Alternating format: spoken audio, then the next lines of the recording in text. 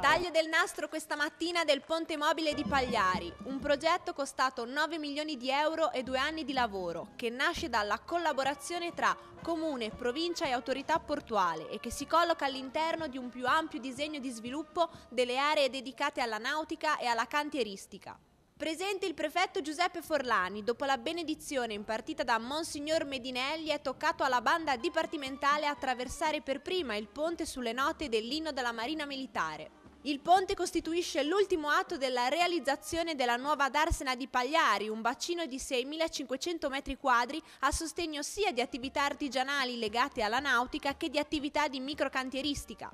È sicuramente un sogno che si realizza, un'opportunità che aspettavamo da tanti tanti anni con la speranza che questo possa portare eh, un po' di lavoro in più in questo momento che non è sicuramente dei più felici anche per il nostro comparto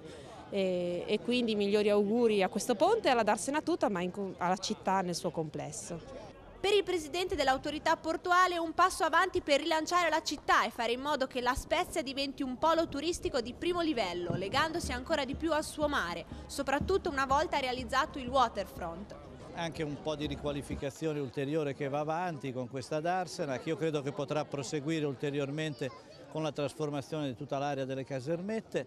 quindi come poi con la realizzazione della fascia di rispetto che cambierà io credo moltissimo e migliorerà moltissimo eh, la situazione di questo quartiere. La campata mobile lunga 21 metri vedrà in futuro il graduale allontanamento dei container dalla fascia retroportuale. Dello stesso avviso non è però il candidato PDL alle elezioni regionali Luigi Morgillo, che considera l'inaugurazione del ponte l'ennesima manifestazione elettoralistica per nascondere l'inadempienza amministrativa degli ultimi anni.